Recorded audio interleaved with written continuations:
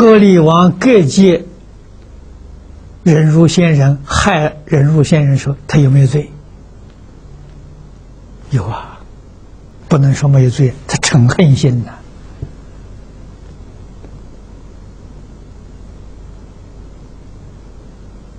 啊，但是他所害的是个觉悟的人。啊，这个觉悟的人对他没有怨恨心，没有报复心。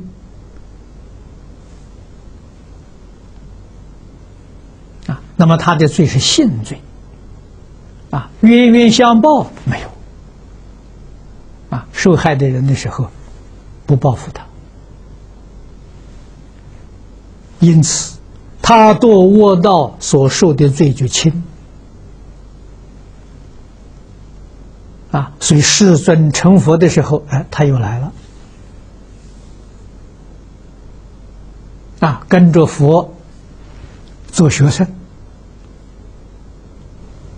啊，由于过去是这个缘分，佛法的这个愿的愿力加持他了，头一个觉悟，头一个正果。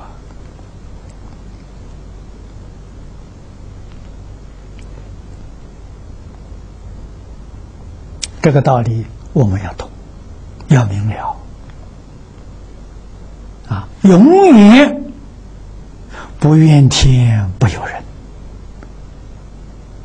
啊！所以孟夫子讲的好啊：“行有不得了，反求诸己。”啊，所有一切故事，不要说别人不对啊！这个我也是常常讲啊。回头想想，自己有错误的地方啊，你怎么能怪别人呢？啊，什么都是我对的，别人错的，这个人觉悟是非常非常困难。啊，人我见太深了，真正修行人，不仅在佛门。啊，在中国道家、儒家，在今天全世界，啊，你看看正规宗教里面，我们的正教啊，那些创教的大圣大贤呢，都是这样教人。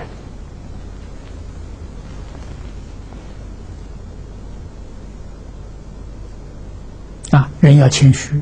人要恭敬，人要知过，人要忏悔，人要改过。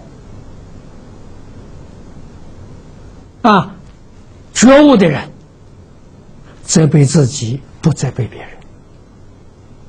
啊，只有迷惑颠倒的人，自己不承认自己过失，都是别人错。我在日本。参加联合国的和平会议，我告诉大家，我们要想真正和平能落实，一定要把观念转过来。啊，不能什么都是自己对的，别人错的，这个观念不好。这个观念是制造对立，制造矛盾，制造冲突，你怎么怎么能化解呢？啊，念头转过来，别人是对的，我是错的。我们每一个人都能想，我错，别人都是对的，和平很快就落实了。啊，人人都能这样谦虚啊，啊，都能认真反省啊。啊，我还特别加强语气。别人错了也是对的，我对了也是错的，这个意思很深啊，这是一般人很难听得懂的。人家听了都说：“哎呦，这个不容易做到，不容易做到也要做到。”啊，只有我们真正做到，我们对于世界和平才做出真正的贡献。